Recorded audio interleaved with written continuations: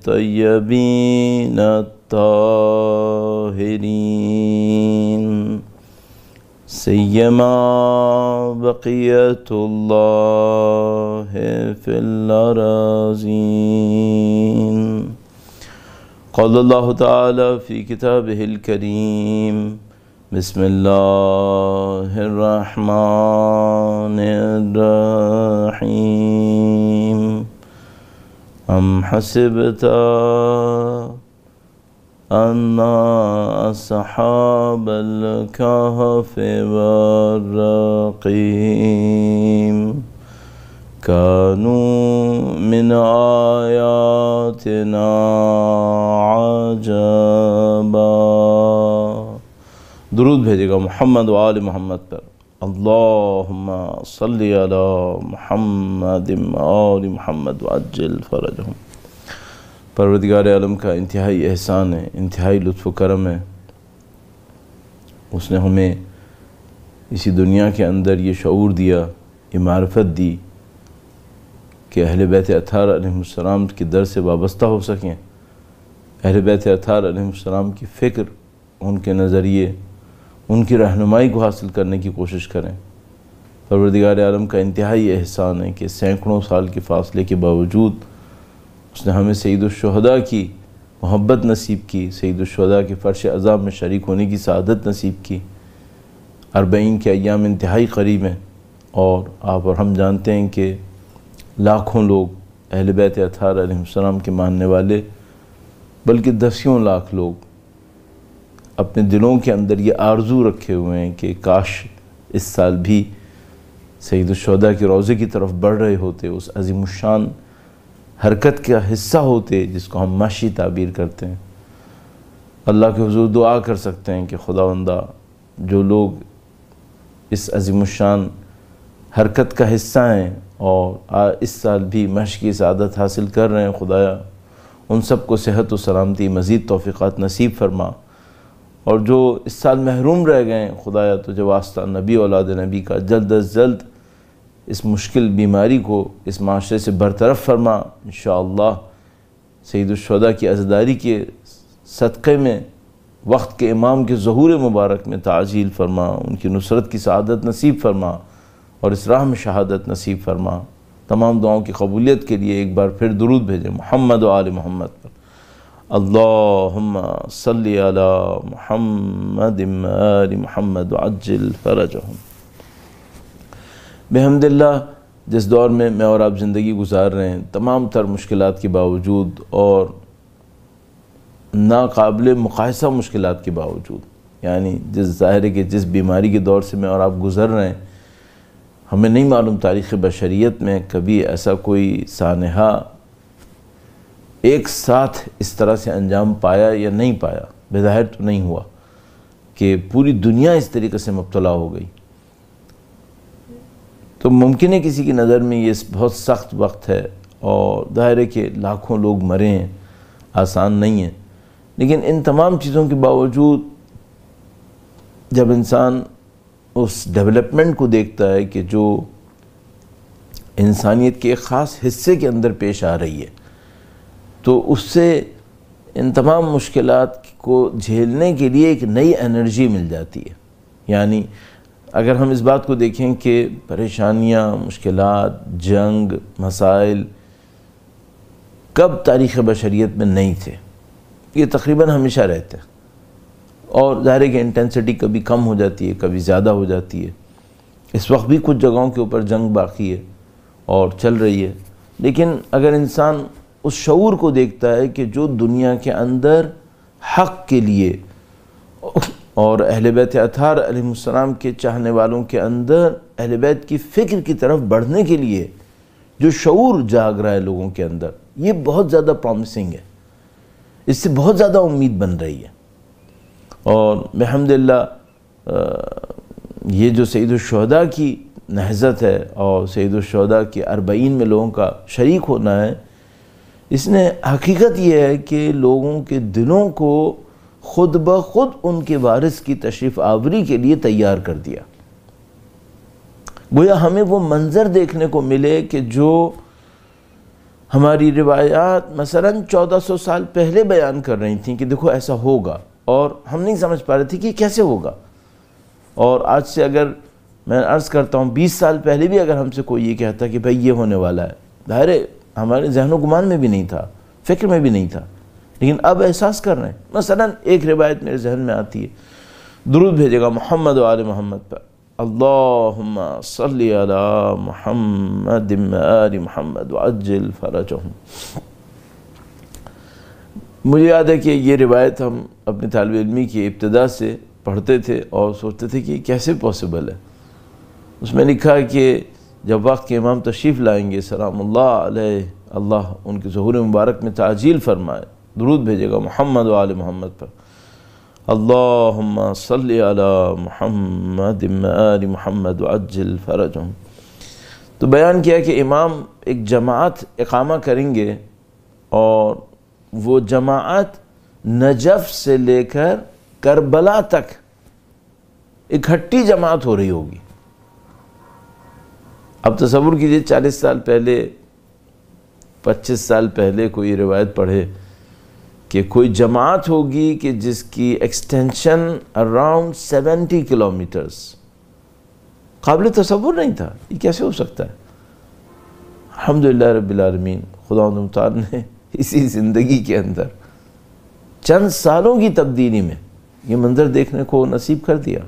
अब समझ में आता है हाँ बिल्कुल हो सकता है। शायद आज तक ना हुआ हो, लेकिन अब जब देखते हैं हाँ बिल्कुल हो सकता है। कोई मुश्किल नहीं है। बिल्कुल हो सकता है। और इस तरीके से दुनिया तब्दील हुई है। अलबत् अर्ज़ करता चलूँ और अपने मौजू से नज़दीक भी ले आऊँ। वही कि ये जो इतनी अजीमशान तब्दीलियाँ आप रुनमा होती देख रहे हैं, इराक़ के अंदर मसलन, कितनी बड़ी साजिश की गई दाइश के ज़रिए से लाए गए। और क्या क्या मजालिम, इंसानियत, सोज मजालिम थे जो इस ला लश्कर कुफ्र के ज़रिए से अंजाम पाए। एक एक दिन में हज़ारों जवान मार दिए गए। और जो कुछ उन इलाक़ों में हुआ, उसको कहते हुए शर्म आती है इंसान को कि ये भी इंसानियत का हिस्सा है। अल्हम्दुलिल्लाह रब्बिल कुछ जहाँबाजों ने, जिनको वाक़ उर्दू में जो असलाह इस्तेमाल करते हैं, सरफरोश जिन्होंने अपने सरों को बेच दिया अल्लाह की राह में। जान हथेली पर रख के खड़े हो गए। और अल्हम्दुलिल्लाह रब्बिल आलमीन, इराक़ की सरज़मीन को, शाम की सरज़मीन को इन बदबख्तों के दाइश के शर से महफूज कर लिया। ये जो कामयाबियाँ नसीब होती हैं, ज़ाहिर है कि ये इतफ़ाक़ी नहीं होती हैं। इन कामयाबी के पीछे महरक़ात होते हैं। वो जो महरक़ात होते हैं, वो क्या होते हैं? तो मिसाल के तौर पर, मुमकिन है कि मिसाल के तौर पर किसी का ताल्लुक पॉलिटिक्स से हो तो वो कहे कि भाई ये पॉलिटिकल सिचुएशन ऐसी हो जाती है।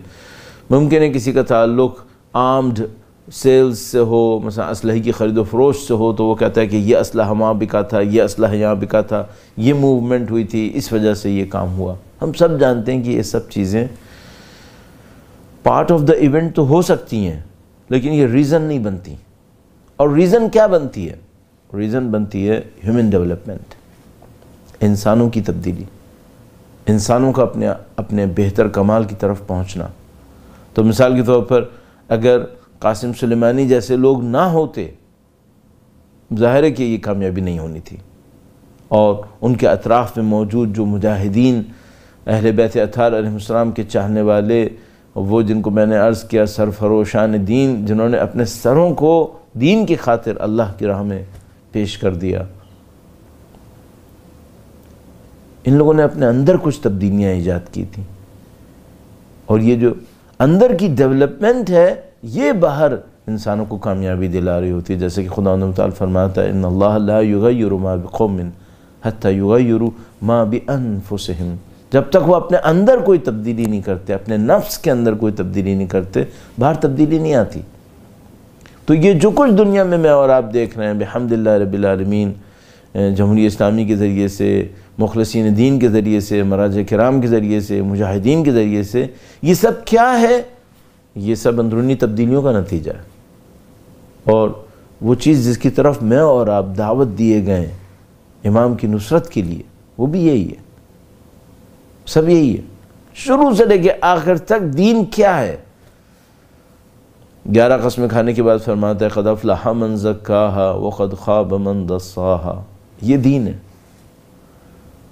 आप और मैं जितना भी मुख्तलिफ़ सरगर्मियों के अंदर मशगूल रहे हैं मरासम के अंदर एंड ऑफ़ द डे हमें अपने आप से एक सवाल पूछना होता है, हमारे अंदर कोई डेवलपमेंट हो रही है? आज हम बेहतर इंसान बन रहे हैं? अगर उन पैरामीटर्स पे जिन पे दीन कहता है कि हाँ बेहतर हो रहे हो। वो हमारे अंदर आ रहे हैं। अल्हम्दुलिल्लाह रब्बिल आलमीन मतलूब। यही चाहिए था। और अगर खुदा न करे नाउज़बिल्ला ताला, सब कुछ हो रहा है। मेरी पी एच डीज़ बढ़ रही हैं, मेरी राइटिंग्स बढ़ रही हैं, मेरी स्पीचेस बढ़ रही हैं कॉन्टैक्ट्स बढ़ रहे हैं, और बज़ाहिर मेरी प्रोडक्टिविटी एक्टिविटीज़ बढ़े चली जा रही हैं, लेकिन अल्लाह से मेरा रबता नहीं बढ़ रहा। खुदा मताल के हजूर मेरा तजर्र नहीं बढ़ रहा खुदा मताल के हजूर मेरे दिल की तवज्जो नहीं जा रही इसका मतलब ये है कि कहीं कोई ख़राबी हो रही है और खुदा न करे ऐसा ना हो रहा हो कि मैं जो मौलाना मकारम अखलाक दुआ मकारम अखलाक के अंदर इशाद फरमाया था मैं उसके बिल्कुल बरखिलाफ़ चल रहा हूँ इमाम ने क्या फरमाया था इमाम ने फरमाया था खुदा जितना लोगों के दरमियान मेरी इज़्ज़त बढ़ा मुझे अपने नफ्स के अंदर उतना ही हकीर कर दे, ताकि मैं तेरे सामने तेरा परहेजगार बंदा बनूँ। तो मेरा अपने ख्याल है, जितना भी मैं तालब इलमी में वक्त गुजार चुका हूँ, उसके अंदर देखते हुए आपकी खदमत में अर्ज़ करूँगा। जो मुझे समझ में आता है, वो ये कि बहुत कम लोग इस पॉइंट को समझ पा रहे हैं कि असल दीन कहाँ है। बहुत सारे लोग ये समझ रहे हैं एक्टिविटीज़ दीन दीन की रियलिटी है। ये दीन की रियलिटी है। लेकिन इसके पीछे की ना डेवलपमेंट है, वो दीन की रियलिटी है, जो अगर मिस हो जाए ना ताला, किसी भी वजह से, फिर सब कुछ हो जाएगा। और ये भी मैं आपकी खिदमत में अर्ज़ करूँ, ये भी बड़ा एक अजीब पॉइंट है। अल्लाह अर्ज़ करने की तोफ़ी नसीब फरमाए। दुरुद भेजेगा मोहम्मद वाल मोहम्मद पर। अल्लाहुम्मा सल्ली अला मुहम्मद मोहम्मद वज्जिल फ़रजहम। बाद अवत यहाँ तक भी होता है कि किसी बंदे के ज़रिए से कोई पॉजिटिव काम अंजाम पा जाता है, बंदे को नसीब नहीं मिलता। यहाँ तक भी होता है। आपने यकीनन वो रिवायत सुनी होगी कि कुछ लोग आखरत में किसी सज़ा की तरफ़ भेजे जा रहे होंगे और लोग उनसे कह रहे होंगे कि हम आपकी वजह से कुछ नेक काम कर पाए। और उन्होंने खुद अमल नहीं किया था उस पर तो वो सोर्स बने थे कि उनके ज़रिए से कुछ नए काम अंजाम पाए। लेकिन ख़ुद उनके ऊपर कोई फ़र्क नहीं पड़ा। ये बहुत ख़तरनाक रिवायत है। अगर इस रिवायत को इसी अंदाज में देखा जाए, अलबत्त कुछ लोग फरमाते हैं कि नहीं, इसका मफहम कुछ और है। लेकिन बहरहाल जो ज़ाहरी तौर पर मफहम नज़र आता है, वो यही नज़र आता है कि भाई कुछ लोग हैं जिनके जिनके ज़रिए से अच्छाई फैली, लेकिन वो लोग अच्छाई अपने अंदर दाखिल नहीं कर सके। और यहाँ पर एक और मफहम भी आता है। वो ये कि बाद ऐसा होता है कि मैं पाँच साल तक, दस साल तक कोई अच्छा काम कर रहा होता हूँ और उसका बड़ा अच्छा रिज़ल्ट मिल रहा होता है नाउज़बिल्ला ताला, मैं उसको सस्टेन नहीं कर पाता। क्यों सस्टेन नहीं कर पाया? किसी भी वजह से। मसलन, एक पॉइंट ये है, मैंने अपनी नीयत पे मेहनत नहीं की थी। नीयत पे मेहनत नहीं की। पाँच दस साल अच्छा चला। काम अच्छे हो रहे थे। लेकिन चूँकि नीयत पे ज़्यादा मेहनत नहीं की थी एक क्रिटिकल टाइम पर आकर नाउज़बिल्ला ताला मेरे अंदर ख़राबी आना शुरू हुई और मैं उस ख़राबी को नहीं संभाल पाया। मैं उस ख़राबी को नहीं संभाल पाया। और उसके नतीजे में फिर ये हुआ कि वो जो मैंने पहले दस साल काम अच्छा अंजाम दिया था, उसके उसके रिजल्ट्स निकल रहे हैं। मैं उसका पार्ट नहीं हूँ। बहुत हुआ ऐसा। बहुत ज़्यादा हुआ है। तो इन तमाम चीज़ों को देखते हुए इंसान के ऊपर एक एक फोर्स इम्प्लीमेंट होती है। एक प्रेशर आता है। वो ये कि भाई ऐसा ना हो कि आप अपने कुछ अच्छे कामों को अच्छा देखते हुए अपने बारे में एक एक पॉजिटिव ओपिनियन बनाना शुरू कर दें और वो एक एक ओपिनियन आपकी डेवलप होना शुरू हो जाए कि मैं अच्छा रहूँगा, मैं अच्छा रहूँगा। और खुदा न करे नाउज़बिल्ला ताला, वो फिर आप ही के लिए नुकसानदेह बनना शुरू हो जाए। अब यहाँ पे एक एक पॉइंट और आपकी खिदमत में अर्ज़ करना चाह रहा हूँ, तरबियती एतबार से। अलबत् मैं कहाँ तरबियती एतबार से कोई पॉइंट अर्ज़ करूँ, लेकिन बहरहाल एक जो दोस्त बताते हैं और ख़ुद मैंने ज़िंदगी में एक दो तजर्बे किए, उससे ये चीज़ सामने आती है। दुरुद भेजेगा मोहम्मद वाल मोहम्मद पर। अल्लाहुम्मा सल्ली अला मुहम्मद मोहम्मद अज्जल फरजहुम एक बार फिर दुरूद भेजेगा मोहम्मद वाल मोहम्मद पर। अल्लाहुम्मा सल्ली अला मुहम्मद मोहम्मद अज्जल फरजहुम इंसान को अपनी रियलिटी को समझने का मौका कब मिलता है? बहुत बहुत सारे लोगों के साथ ये होता है कि ज़िंदगी गुजारते रहते हैं, गुजारते रहते हैं, फिर एक सर्टन टाइम के ऊपर जाकर अचानक गोया एक नई चीज़ फ्लिप होकर सामने आ जाती है। और उनको कुछ चीज़ें समझ में आना शुरू हो जाती हैं। और फिर बाद अफसोस भी करते हैं कि काफ़ी देर लग गई समझने में। आयतुल्ला कराती ने आ, मुझे याद आता है शायद 85 1985 में हाँ मैं मदरसे में नया नया आया था। आयतुल्ला कराती उस वक्त मदरसे में आए। ये ईरान का एक शहर था छोटा सा शहर था खानसार नाम करके तो मैं वहाँ पढ़ा करता था। आयतुल्ला कराती उस वक्त भी काफ़ी मशहूर थे, उस वक्त भी काफ़ी मशहूर थे। ये उन लोगों में से हैं वाक़ जिनकी ज़िंदगी को खुदा ने अजीब बरकत दी है। यानी तस्वुर कीजिए कि 84 85 से तो मैं देख रहा हूँ कि अल्हम्दुलिल्लाह रब्बिल आलमीन दरस कुरान देते हैं और अखलाक़ी मसाइल बयान करते हैं। तो तशरीफ़ लाए, उन्होंने ये वाक़ सुनाया और उन्होंने कहा कि अपनी नीयत के खालिस होने के ऊपर उन्होंने बहुत मेहनत करना चाहिए। कहीं पे पढ़ा सुना, तवज्जो नसीब हुई और कहने के कि मैंने सोचा कि मैं अपनी नीयत के खालिस होने के ऊपर बहुत मेहनत करूँगा क्योंकि ये बहुत इंपॉर्टेंट है। तो कहने के कि मुझे एक ज़रिया समझ में आया, मैं मशद गया मौला के रोज़े के ऊपर और मौला के रोज़े के ऊपर जाकर मैंने इमाम से अहद किया कि मौला, मैं एक साल तक तबलीग करूँगा, कोई एक सिक्का नहीं लूँगा किसी से और आपसे मेरी इल्तजा है कि आप मेरी नीयत को खालिस फरमाते दें यह आसान काम नहीं है, बहुत मुश्किल काम है। एक साल तक इंसान ज़िंदगी का लगाए और मिसाल के तौर पर कोई मादी रिज़ल्ट न ले और उम्मीद क्या हो, उम्मीद ये हो कि खुदा इन नीयत खालिस कर दे। इतना इम्पोर्टेंट काम और इतना मुश्किल काम है ये। कहने के कि मैं कई महीने इसी तरीके से तबलीग करता रहा, फिर मशहद ही में उन्होंने शायद सुनाया कि मशहद ही के अंदर था। जब मैं कहीं तबलीग करने दाखिल होने लगा, मदरसे के अंदर गोया या कोई कोई जगह थी तो वहाँ पे किसी तालब इम ने मुझे देखा कि मैं आ रहा हूँ और उसने ज़्यादा तवज्जो नहीं दी और वो इसी तरह चलता रहा। तो कहने के मुझे थोड़ा सा फील हुआ कि भाई इसने अगर मुझे नहीं देखा था तो नहीं देखा था, कोई बात नहीं। लेकिन जब देख लिया था तो इसको थोड़ा बहुत रिस्पेक्ट देनी चाहिए थी मेरी। आखिर मैं इसके मदसे में आ रहा हूँ, इसको अभी दरस अखलाक दूँगा। थोड़ा बहुत तो इसको तवज्जो देनी चाहिए थी। तो कहने कि ये ख्याल मेरे जहन में आया। मैंने बहरहाल उस वक्त तवज्जो नहीं दी और दर्स वगैरह दिया। फिर जब रात हुई और मैं अपने कामों को रिव्यू करने लगा तो अचानक मेरे सामने ये वाक़ आया कि ओहो, इस वाक़े से मुझे पता चल रहा है कि मेरी नीयत अभी खालिस नहीं हुई है। अभी मैं लोगों को देख रहा हूँ कि लोग मुझे क्या देते हैं।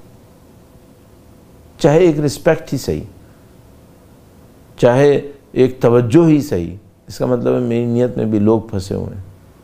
मैं अभी खालिश नहीं हुआ। कहने के मुझे बहुत अफसोस हुआ। ये कि मेरी नीयत अभी तक खालिश क्यों नहीं हुई? फिर एक आरिफ के पास गया। उन्होंने किसी आरिफ का नाम लिया। मुझे बिल्कुल याद नहीं आ रहा उनका नाम क्या था। 85 की कहानी।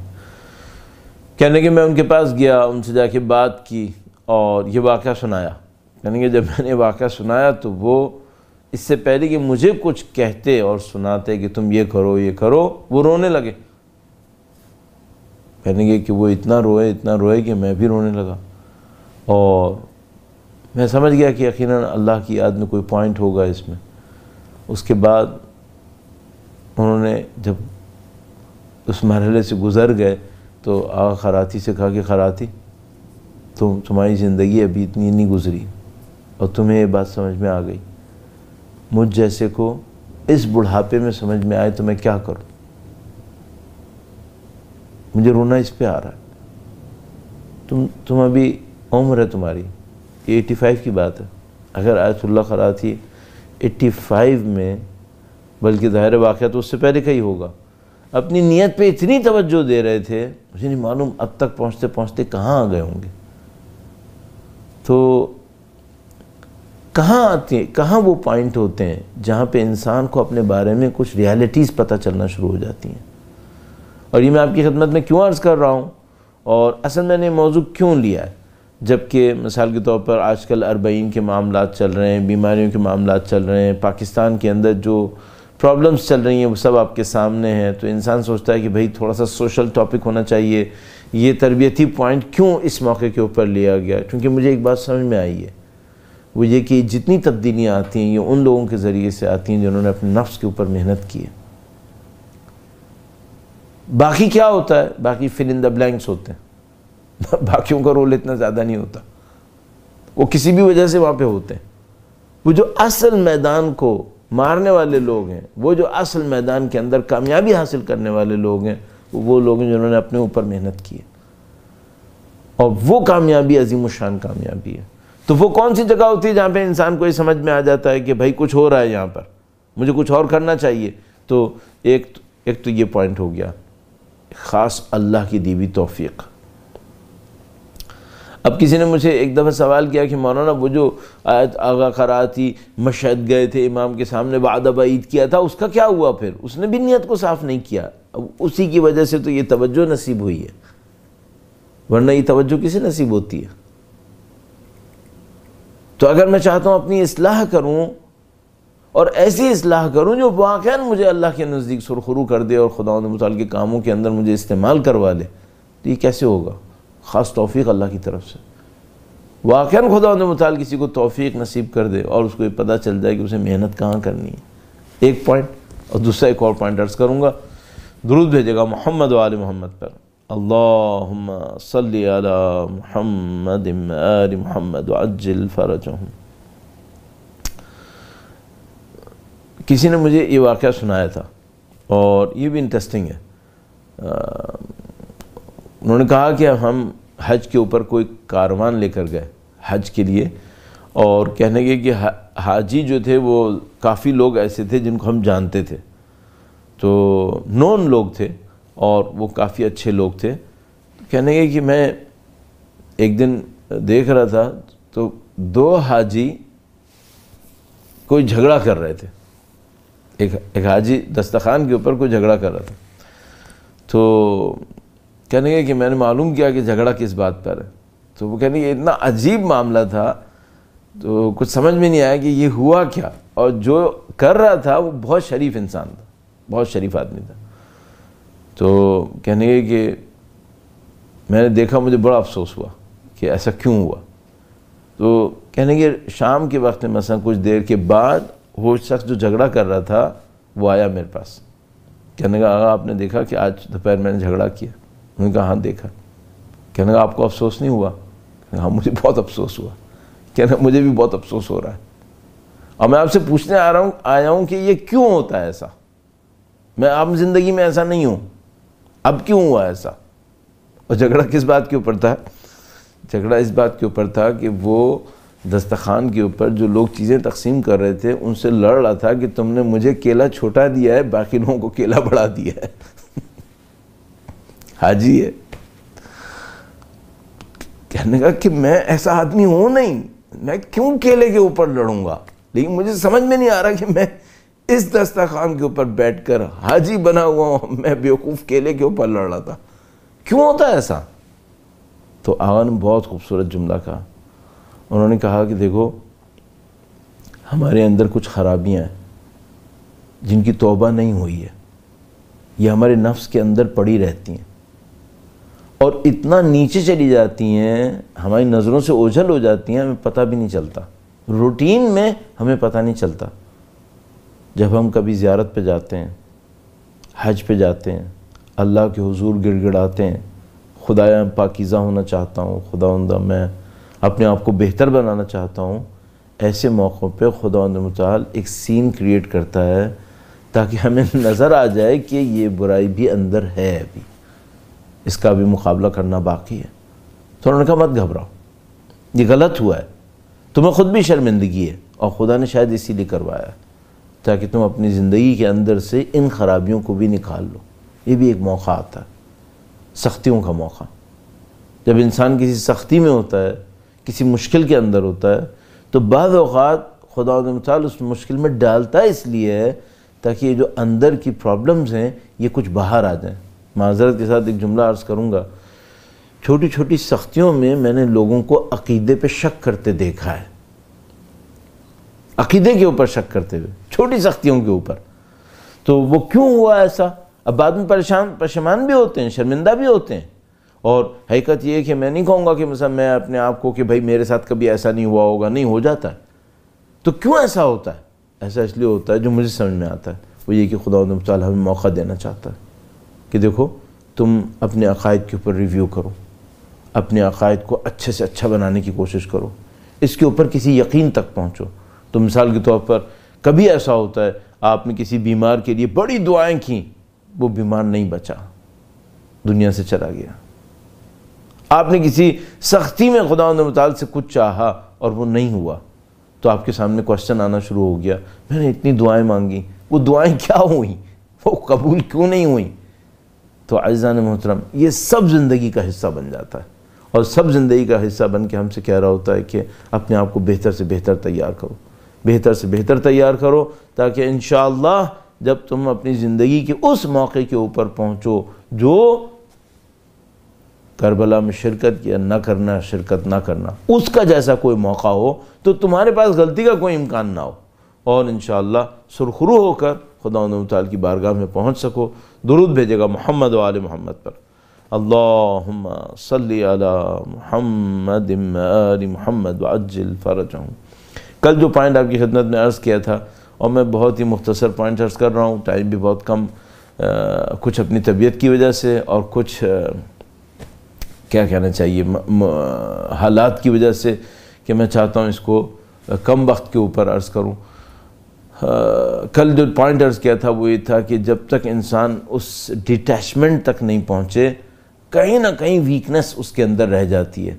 और वो अटैचमेंट्स को ख़त्म करना। यानी मिसाल के तौर पर अगर औलाद है तो औलाद को खुदा की खातिर पसंद करे और जब खुदा मताल की तरफ़ से हुक्म आए तो क़ुरबान कर सके। ज़िंदगी की कोई भी नेमत है जो खुदा मताल की तरफ़ से मिली हुई है तो वो इस काम को अल्लाह की खातिर रखें और जब भी खुदा मताल की तरफ़ से आए तो क़ुरबान कर सके। अच्छा अब यहाँ पे एक छोटा सा पॉइंट है, वो भी अर्ज़ करता चलूँ। बाद हम लोग बहुत बड़ी बड़ी चीज़ों के ऊपर मेहनत कर लेते हैं। बहुत बड़ी बड़ी मामला के ऊपर मेहनत कर लेते हैं। मैं भी मिसाल अर्ज़ करूँगा। लेकिन कुछ चीज़ें नज़रों से ओझल रह जाती हैं। और शैतान अपने काम का, हम सबको पता है कि उस्ताद है। शैतान अपने काम का उस्ताद है। यानी जिस चीज़ को हमने कम समझा और नज़रअंदाज कर दिया, वो मास्टर प्लानर आएगा और उसी के ऊपर इन्वेस्ट करेगा और उसी वीकनेस को हमारे अंदर इस्तेमाल करेगा। अच्छा अब तो शैतान दुनिया के निज़ाम बने, वो भी शैतान से कम नहीं है। कि जनाब अली, अगर आपके अंदर थोड़ी सी कोई पोजीशन है और थोड़ा सा आपका कोई एक्टिविटी है और आपके सामने कोई कोई है कि जो देख रहा है कि भाई ये क्या कर रहा है तो सबसे पहला काम क्या करेगा? वो मेरा और आपका एक साइकिक एनालिसिस करेगा।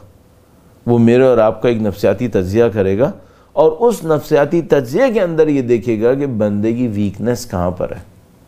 तो मुमकिन है कि मिसाल के तौर पर मैं किसी गैदरिंग के अंदर गया और जो ऑब्ज़र्व करने वाला था, उसने सिर्फ़ इतना करना है कि मेरी आँखों की मूवमेंट को ऑब्ज़र्व करना, मेरी आँखें कहाँ जा रही हैं।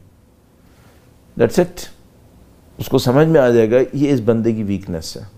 और उसके बाद उसने उसी के ऊपर मेहनत करनी है।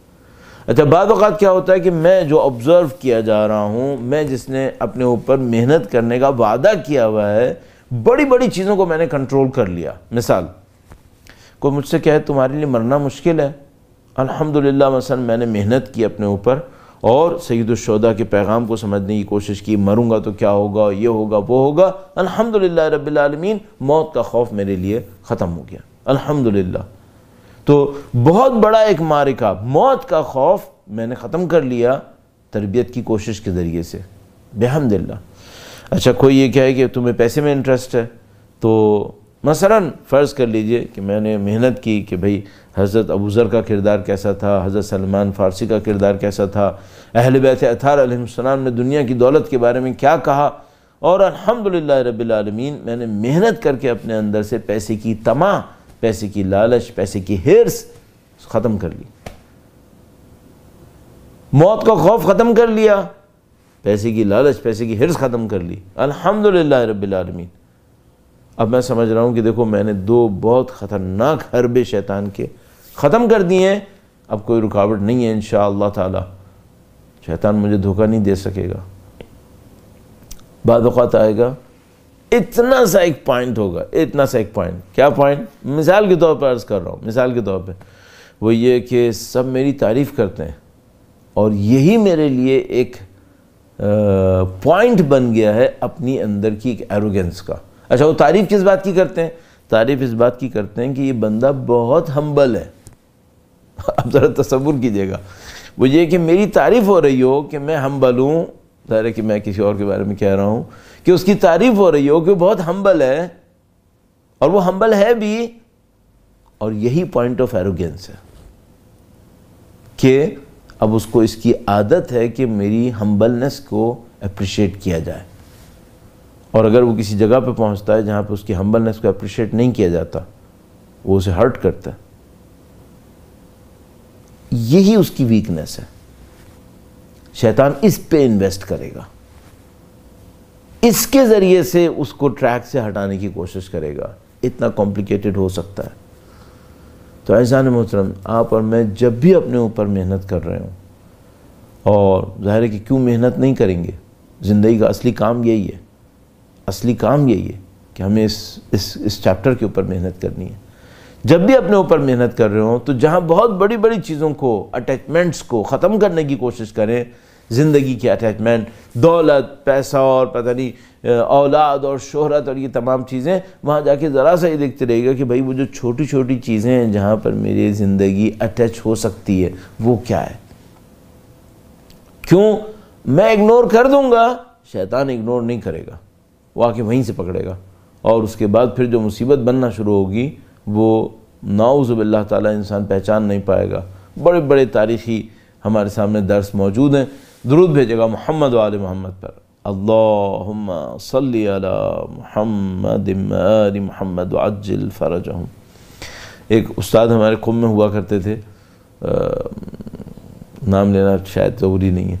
तो वो इनकलाब के ज़माने में बहुत एक्टिव थे और इनकलाब के बाद भी एक्टिव थे। अभी भी अल्हम्दुलिल्लाह काफ़ी एक्टिव हैं और तहरान में बल्कि जो नमाज़ जुमा होती है उससे पहले जो स्पीचेस होती हैं उसमें वो तकरीरें भी तकरीर करते हैं कभी कभी तो काफ़ी उनका अल्हम्दुलिल्लाह एक्टिविटी का रोल था। तो ये जो मैं आपको वाक़ सुना रहा हूँ ये अंदाज़न 88, 87, 1987, 88 का है। तो उस ज़माने में जंग चल रही थी। ईरान इराक जंग चल रही थी और उन्होंने बताया कि वो इनकलाब के ज़माने में लोगों को देखते थे और लोग शहीद होते थे। तो कहने लगे कि मेरे दिल में बड़ी ख्वाहिश होती थी कि मैं शहीद हो जाऊँ। तो कहने लगे, अल्लाह से मैं बड़ी दुआ करता था, खुदा मुझे शहीद कर दे, मुझे, मैं शहीद हो जाऊँ। कहने लगे, जब इनकलाब आया, और इनकलाब आने के बाद मैंने लोगों को तब्दील होते देखा कि भाई, वो जब इनकलाब आ रहा था तो इतना इनकलाबी था, जब इनकलाब आ गया, और उसके बाद उसके कैरेक्टर के अंदर नहीं मालूम क्या हुआ, तब्दीली रुनुमा हो गई। और वो तब्दील हुआ, ऐसा तब्दील हुआ कि वो जिसके पहले उसको देखकर हम कहते थे, यार, कितना आइडियल बंदा है ये अल्लाह के दीन के लिए, मुसलमानों के लिए। कह रहे बिल्कुल तब्दील हो गए लोग। बहुत सारे लोग ऐसे नज़र आए जिनको देखकर मैं हैरान होता था। तो कहने ये कि इन तमाम चीज़ों को देखने के बाद अब मैं खुदा से दुआ करता हूँ, खुदाया, शहादत बहुत दूर की बात है तो मुझे मुसलमान मार दे। कि मैं इस्लाम के ऊपर मुझे मौत आ जाए, ये भी बड़ी बात है। क्योंकि ये दुनिया के हवादिस बड़े गंदे हैं। दुनिया कहीं से कहीं ले जाती है इंसान को। तो स्टार्टिंग तो लगता है बहुत अच्छा चल रहा है, लेकिन जब थोड़ा दूर आगे जाके देखते हैं तो देखते हैं, नहीं वीकनेसेस बहुत ज़्यादा थी। और उन वीकनेसेस को कंट्रोल नहीं कर सके। और उनको ना करने की वजह से नाउज़बिल्ला ताला उस अच्छे अंजाम के बजाय किसी बुरे अंजाम तक पहुँच गए और पता नहीं कितनी दास्तानें मैं, मेरे जहन में आ रही हैं और आपके जहन में भी आ रही होंगी कि भाई ये वाक़ बहुत मुश्किल काम हो गया। तो अब इसको समराइज़ करते हुए, इंसान को फाइनली क्या करना चाहिए? एक दो पॉइंट अर्ज़ करूँगा अपने लिए, और इन आप भी दुआ फरमाएगा दुरुद भेजेगा मोहम्मद वाल मोहम्मद पर। अल्लाहुम्मा सल्ली अला फ़रज जो मुझे समझ में आता है, वो ये आता है कि जब तक मेरी टॉप प्रायोरिटी ये नहीं बनी कि मुझे तस्किया नफ्स करना है। ये मामला हल नहीं होने वाला। टॉप प्रायोरिटी ये बने। अनफॉर्चुनेटली हम लोगों के साथ ज़्यादातर ऐसा नहीं होता। हमारी टॉप प्रायोरिटी कुछ और होती है। अगर कोई शख्स वाकन इस ताल्लुक़ को बहुत अच्छी तरह स्टडी कर ले, इस दुनिया और इसके बाद वाली दुनिया, बरज़ख स्पेशली बरज़ख को। अगर कोई इस रिलेशनशिप के ऊपर बहुत ज़्यादा मेहनत कर ले और अब कम अज़ कम मेरे जहन में मुझे यूँ लगता है कि हर मजलिस के अंदर, हर मजलिस के अंदर इसको ज़िक्र होना चाहिए। हर लेक्चर के अंदर इसे कहीं ना कहीं बीच में आना चाहिए। अगर कोई इस रिलेशनशिप के ऊपर बहुत अच्छा गौर कर ले, ये दुनिया और बरज़क क्या है? बरज़क कैसे बनती है? बरज़क क्या बनती है? तो ख़ुद ब खुद उसको समझ में आ जाएगा कि बाकी चीज़ों की हैसियत सानवी है। इतनी इम्पोर्टेंट नहीं है। सबसे इम्पोर्टेंट काम इस तस्किया नफ्स के ऊपर मेहनत करना। और मैं एक अजीब बात और आपकी खिदमत में अर्ज़ करूँ, वो ये कि तालब इलमी के ज़माने में मैं पीछे बार बार इसलिए रेफ़र कर रहा हूँ कि ये जितनी भी तब्दीलियाँ आज मैं और आप देख रहे हैं, ये उन पाकिज़ा लोगों के असर में हासिल हुई हैं। और उन पाकिज़ा लोगों के सिखाए हुए को हमें दोबारा रिव्यू करना पड़ेगा कि ये क्या सिखाना चाह रहे थे। क्यों इमाम खुमैनी ने और रहबर मज़म ने कहा कि शहदा के वसीयत नामों को देखो? इनके जुमलात को देखो। ये वो लोग थे जिन्होंने वाक़ मेहनत की थी अपने ऊपर। और उसके, उनके मेहनतों के रिज़ल्ट को मैं और आप अब हासिल कर रहे हैं। तो मिसाल के तौर पर, जब मैं पीछे जाके देखता हूँ तो एक मौके के ऊपर, अपनी तालब इलमी के दौरानिए में एक जगह के ऊपर पहुँच मुझे एहसास हुआ कि पूरी दुनिया बनी है चंद इंसानों की तस्के नफ्स के लिए। तो मुझे एहसास हुआ कि ये तो फिर सबसे इम्पोर्टेंट पॉइंट यही है। इससे इंपॉर्टेंट कोई पॉइंट ही नहीं है दुनिया के अंदर कि जो कुछ हो रहा है ए टू जी वो ये है कि कुछ लोग तस्के नफ्स करें। मैं ये अगर इतना इंपॉर्टेंट पॉइंट है कि पूरी दुनिया इसके लिए बनी है तो इमाम खुमैनी ने मिसाल के तौर पर इतनी बड़ी जद्दोजहद की हुकूमत बनाई, उस वक्त हयात थे, इतनी बड़ी हुकूमत बनाई तो वो इस पॉइंट को बताते क्यों नहीं अपनी स्पीचेस के अंदर? अगर यही सबसे इंपॉर्टेंट पॉइंट है तो जब इमाम खुमैनी की हुकूमत बन गई है, उनकी स्पीचेस तो पूरी दुनिया में लोग सुन रहे हैं और ईरान तो यकीन सुन ही रहा है तो उनको तो चाहिए कि अपनी हर स्पीच के अंदर इस बात को मेंशन करें। तस्किया नफ्स को और अब अल्लाह शाहिद है, खुदा शाहिद है। उसके बाद से मैंने इमाम खुमैनी की हर तकरीर को इस अंदाज से देखा। और फिर मैंने देखा कि अल्लाह अकबर, कोई तकरीर इमाम खुमैनी ने नहीं की, मसलन चंद मिनट की जिसमें ये मेंशन ना किया हो। ये पॉइंट ना आया हो। उस वक्त मुझे समझ में आया कि ओहो, ये इतना इंपॉर्टेंट पॉइंट है। सब कुछ जो हो रहा है वो इसलिए हो रहा है। और बदकिस्मती ये है मेरे जैसे आदमी की, वो ये कि हम लोग बहुत सारी चीज़ों के अंदर मशगूल हो जाते हैं और ये भूल जाते हैं कि असल यहाँ पे था। असल यहाँ पे था। तो मुझे क्या करना होगा? टॉप प्रायोरिटी इसी को बनाना होगा। हर चीज़ के पीछे, बिल्कुल हर चीज़ के पीछे। यानी मसा, अगर मैं बिज़नेस कर रहा हूँ तो कि क्या उस वक्त भी मेरी टॉप प्रायोरिटी यही होनी चाहिए कि मुझे तस्किया नफ्स के साथ बिज़नेस करना है? यस तब मैं कामयाब हो पाऊँगा। तो मिसाल के तौर पर अगर मैं किसी ट्रैवलिंग पे जा रहा हूँ, और इस ट्रैवलिंग का मकसद ये है कि मैं अपने आप को थोड़ा रिलैक्स करना चाहता हूँ, और क्या उस वक्त भी मेरे जहन में ये होना चाहिए? बिल्कुल। उस वक्त भी यही होना चाहिए। क्यों? ये मेरी ज़िंदगी का कोर इशू है। और आप अजान मोहतरम, जहाँ कहीं भी तशरीफ़ फरमाएँ और अगर इन जुमलात को सुन रहे हैं और आपने जहमत उठाई यकीनन तो फिर मैं आपकी खिदमत में भी यही अर्ज़ करूँगा। वो ये कि हमें नहीं मालूम, खुदा मताल हमारी ज़िंदगी के कितने लम्हात हमें और फुर्सत देगा, और मोहलत देगा। तो ये जो सैदुलशहदा के नाम पर अल्हम्दुलिल्लाह रब्बिल इतनी बड़ी दावत मिली हुई है, अल्हम्दुलिल्लाह रब्बिल आप पहली मुहर्रम से मशगूल हैं और अब अरबाइन के नज़दीक हैं, कुछ अयाम और बाकी हैं। सईदुलशहदा की दी इस दावत के ऊपर गौर कीजिएगा।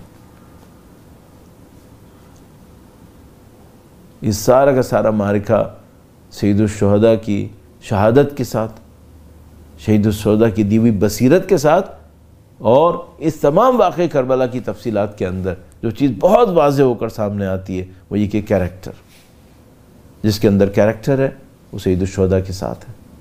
जिसके अंदर इस नफ्स के ऊपर मेहनत का जज्बा है, वो सईदुलशहदा के साथ है। अल्हम्दुलिल्लाह रब्बिल आलमीन। आगे भी ऐसे ही है। आगे का वक्त भी ऐसे ही है कि उनके वारिस तशरीफ़ लाएँगे इन ताला एक बार फिर तस्किया हुए हुए नफूस को एक मौका मिलेगा कि वो आएँ, उनकी खिदमत में पेश हों, और अपनी शहादतों के ज़रिए से कुछ मकाम को हासिल कर सकें। अलबत्त ये बात समझ में आती है, वो ये कि कुछ लोग ऐसे होंगे कि जिन्होंने इस दुनिया के अंदर अपनी नफसानी तरबियत को तजकिए को उस जगह तक पहुँचा लिया होगा कि शायद अब मरना उनके लिए इतना इम्पोर्टेंट नहीं रहा होगा। और शायद खुदा मिसाल उनको शहादत का मकाम किसी और अंदाज में दे चुका होगा। यूँ समझ में आता है। लेकिन बहरहाल शमशीर से शहीद होना और या अल्लाह की राह में खून बहाना, शायद इसकी कोई बहुत बड़ी फजीलत ऐसी है जिसको कोई मिस नहीं करना चाहता। और सब के सब चाहते हैं कि इस मकाम को किसी न किसी तरीके से हासिल करें। अल्लाह का करम है। उसने हमें सईद शहदा के चाहने वालों में करार दिया। खुदा मताल का एहसान है। उसने हमें पाकिजगी के रास्ते के अंदर करार दिया। पाकिजगी का ये रास्ता कि जिसमें जिसके अंदर कोई कमी है, कोई नक्स है, वो सईदुलशहदा की पाकिज़ा बारगाह के अंदर पहुँचता है और सईदुलशहदा से इल्तमास करता है कि मौला, मेरी कमी को बरतरफ कर दे। हम नहीं मानूँ अपनी ज़िंदगी के कौन कौन से मराहल गुजार चुके होंगे। खुदा का करम है, लुत्फ़ खुदा मताल का कि उसने सईदुलशहदा की मोहब्बत से नवाजा हुआ है। और जब मैं अपने जहन में सोचता हूँ कि सईदुलशहदा की मोहब्बत के सदक़े में खुदा मताल कबूल कर ले तो नहीं मालूम क्यों सईदुलशहदा के उस ग़ुलाम का जहन में आने लगता है। सईदुलशहदा के लिए जान देने वालों में कुछ वो थे जो सईदुलशहदा के ख़ानदान से ताल्लुक़ रखते थे, बनी हाशिम से थे। कुछ वो लोग थे कि जिनका एक नाम था माशरे के अंदर, उनका एक किरदार था माशरे के अंदर, और वो अपने उस नाम और अपने किरदार के साथ सईदुलशहदा के लश्कर के अंदर शामिल हुए। लेकिन इस लश्कर के अंदर इंतहाई पाकिज़ा कुछ लोग ऐसे भी थे, जिनका माशरे में कोई नाम नहीं था, जिनके पास कोई टाइटल नहीं था, माशरे में कोई लखब नहीं था। लेकिन उनकी नीयतें इतनी पाकिज़ा थीं, इतनी पाकिज़ा थीं कि खुदा मताल ने उनके पाकिज़ा खून को सैदुलशहदा की तहरीक का हिस्सा बना दिया और उन पाकिज़ा इंसानों में सैदुलशहदा के वो पाकिज़ा सिफत जौन थे कि एक मौके के ऊपर जब आशूर का दिन आया सईदुलशहदा ने जॉन को बुलाया और सईदुलशहदा ने कहा कि अः जॉन, हम ग़ुलामों को सख्ती के वक्त के लिए नहीं रखते। पहले भी कह चुके थे कि तुम आज़ाद हो। जहाँ जाना चाहो चले जाओ। और उसके बाद फिर सईद उशदा ने फरमाया, देखो जॉन, हमने तुम्हें आज़ाद किया। जहाँ जाना चाहते हो चले जाओ। और तुम्हारे लिए ज़रूरी नहीं है कि तुम इस मार्के के अंदर जान दो। ये जो लश्कर है, ये जानता है कि तुम गुलामी के आलम में यहाँ पर थे। अगर तुम बाहर जाओगे, तुम्हारे लिए कोई मुतारज़ नहीं होगा। तुम जाना चाहो तो जा सकते हो। वो जॉन गिड़गिड़ा उठे। कहा, मौला मैं सारी ज़िंदगी इंतज़ार किया था। आपके घराने की खिदमत की थी। और इस सारी ज़िंदगी खिदमत के पीछे मैं गुलाम हूँ, मेरा काम यही है कि मुझे खिदमत करनी है। लेकिन मेरी नज़र में यह था कि कभी एक दिन आएगा, जब मेरे मौला को मेरी कोई ज़रूरत पड़ जाए कि मैं शामिल हो जाऊँ उस मुक़दस जद्दोजहद के अंदर, शायद मेरा जहन कहता है, पता नहीं, तारीख में जाके चेक करना पड़ेगा। मुझे कि शायद जॉन ने कभी अपने पुराने दौर के अंदर रसूलुल्लाह के ज़माने से या रसूलुल्लाह के ख़ानदान के ज़माने में कहीं पर कुछ सुन लिया होगा कि सैदुलशहदा पे एक ऐसा वक्त आएगा। कहा, मैं तो सारी ज़िंदगी इंतज़ार कर रहा था, मेरे मौला, कि ऐसा ही वक्त आएगा। फरमाया सैदुलशहदा ने, जौन, तुम क्या चाहते हो? क्यों जान देना चाहते हो? अजीब जुमला दे कहा, मौला, मैं आपसी हूँ। मेरा सब नहीं है।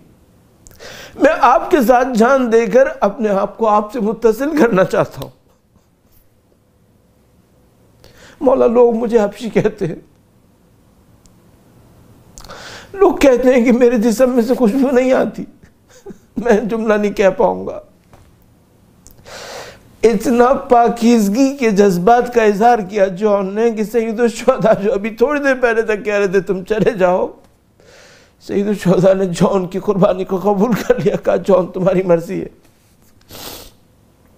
जॉन गए जॉन जब मैदान करबला के अंदर तशरीफ़ लाए तो उन्होंने रस पढ़ा, अपने अशार पढ़े, जिसके ज़रिए से अपनी शुजात को दिखाना होता है। लेकिन इनकी तबीयत में इमाम हुसैन की पैरवी और ग़ुलामी इस तरह से आई हुई थी कि शहादत से कुछ देर पहले जो अशार पढ़े वो क्या थे? कहा, अब आओ हुसैन के ग़ुलामों की जंग देखो। अब आओ हुसैन के ग़ुलामों की जंग देखो, जो जान देने के लिए आए हैं, उनकी जंग देखो। और उसके बाद मारिका किया। जौन ज़मीन के ऊपर गिरे। तो हमारे पास ये रिवायत मौजूद है। मुस्तनद के अंदर भी बयान करते हैं लोग। कि जब ज़मीन के ऊपर जौन गिरे तो शायद आसाब ने समझा कि हमारी ज़िम्मेदारी है कि हम जौन को उठाएँ। सही तो शोधा ने कहा, नहीं, मैं जाऊँगा जौन की तरफ़। खुद जौन की लाशी की तरफ़ तशरीफ़ लाए। गोया उस वक्त तक जौन हयात थे, उनकी ज़िंदगी में रमक बाकी थी। सही तो शुदा तशरीफ़ लाए। अजी तो कैसे जुमला अर्ज़ करूँ? बिल्कुल जिस तरह अली अकबर के सर को अपने जानू पे रखा था। जॉन के सर को अपने जानू पे रखा और जॉन के चेहरे से खाक और खून को साफ़ किया। जॉन में ज़िंदगी की कुछ रमक बाकी थी। अब जो देखा तो अजीब मंजर देखा कि मेरे मौला तशरीफ़ फरमाए, आका तशरीफ़ फरमाए, मेरा सर उनके दानों पर रिवायत बयान करती है कि जॉन थोड़ा सा मुस्कुराए अपने तकदीर के ऊपर कि खुदा तेरा शुक्र है। तूने मुझे क्या मुकद्दर नसीब कर दिया कि इमाम हुसैन के खून के साथ मेरा खून शामिल हो गया? अल्लाह से दुआ करते हैं पाक परवर्ती का खुदा तुझे वास्ता जॉन की उस पाकिदा खून का, उनकी उस अजीम शान कुर्बानी का है। खुदाया तुझे वास्ता अहल बैत की दर्दनाक मसाइब का सैद सरदार मौला और आका इमाम आखरुज़मा के ज़हूर में ताजील फरमा। ए पाक परवरदिगार, उनकी नुसरत की शहादत नसीब फरमा। इस नुसरत की राम शहादत नसीब फरमा। मातम हुसैन